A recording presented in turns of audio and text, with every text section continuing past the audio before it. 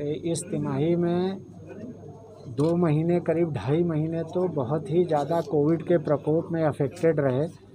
लेकिन उसके बाद भी रेलवे कर्मचारियों ने और अधिकारियों ने सबने मिल कर के अचीवमेंट के लिहाज से पिछले साल से कहीं अच्छे हमने, कहीं अच्छा हमने परफॉर्म किया है। हमने हाईएस्ट ओवर लोडिंग की है हाईएस्ट एवर अर्निंग की है गुड्स गुड्स में। एज़ वेल एज़ जो डिफरेंट कमो अपने बिज़नेस बढ़ाए हैं नए नए बिज़नेस जो कि फ्लाई ऐश का भी हमने बिज़नेस ऐड किया है। हमारी बिज़नेस डेवलपमेंट यूनिट्स हेडक्वार्टर में हैं और हर डिवीज़न में हैं। उन सबने बड़ी मेहनत से काम किया और नया नया ट्रैफ़िक हमारे पास ले आए। और उसके थ्रू हमने काफ़ी अचीव किया। साथ में हमने खाली इतना ही नहीं किया। सोलर हर हर डायरेक्शन में हमने अपने को आगे बढ़ाने की कोशिश करी है। सोलर एनर्जी जनरेशन हमने सबसे ज़्यादा किया, करीब एक करोड़ की सेविंग एक्स्ट्रा तीन महीने में की है as compare to last year पाँच करोड़ की सोलर पाँच करोड़ यूनिट करीब हम जनरेट करने वाले हैं सोलर से इस साल में। रेलवे इलेक्ट्रिफिकेशन का काम ऑलरेडी बहुत तेज़ी से चल रहा है। हमारा 82 परसेंट ऑलरेडी इलेक्ट्रीफाई हो गया है। बाकी जो 18 परसेंट बचा हुआ है अगले दो साल में पूरा हो जाएगा। इस साल का करीब 567 टीकेएम का टारगेट है। उस टारगेट को भी हम पूरा कर रहे हैं। जुलाई में हम एक्सपेक्ट कर रहे हैं कि महोबा खजुराहो का इलेक्ट्रिफिकेशन हो जाएगा। हमने डीजल से इलेक्ट्रिक पे गाड़ियाँ, नौ पेयर गाड़ियाँ इस इस तीन महीने में चेंज करी हैं। जिससे हमारी डीजल की सेविंग होगी और बेटर एनर्जी से गाड़ी चलेगी एनवायरनमेंट भी इम्प्रूव होता है इससे।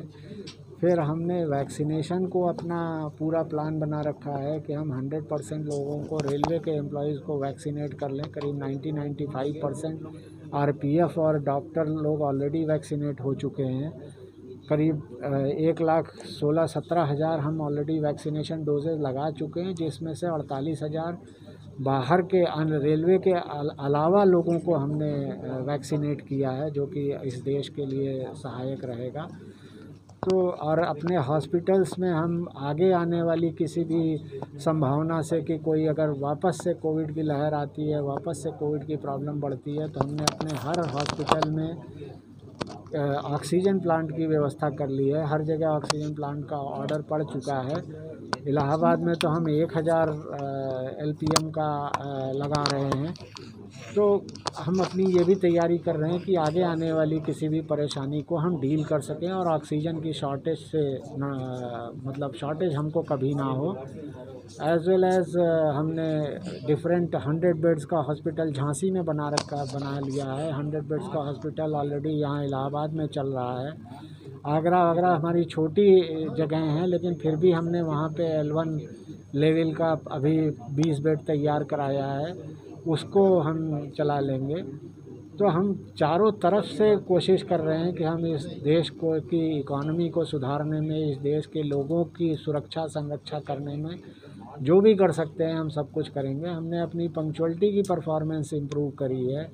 करीब तिरानवे परसेंट पंक्चुअलिटी की परफॉर्मेंस है हमारी, जो कि हाईएस्ट एवर एनसीआर में इतनी पंक्चुअलिटी की परफॉर्मेंस कभी रही नहीं होगी। और मेल एक्सप्रेस गाड़ियाँ हम करीब 86 परसेंट ऑलरेडी रीस्टार्ट कर चुके हैं, कोविड ख़त्म होने के बाद।